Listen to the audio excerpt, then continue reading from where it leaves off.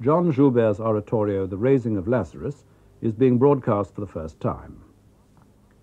The part of Mary, sister of Lazarus, is sung by Janet Baker, and Jesus of Nazareth by Ronald Dowd, with the City of Birmingham Choir and the City of Birmingham Symphony Orchestra, leader John Bradbury, conducted by Maurice Handford. John Joubert is senior lecturer in music in the University of Birmingham.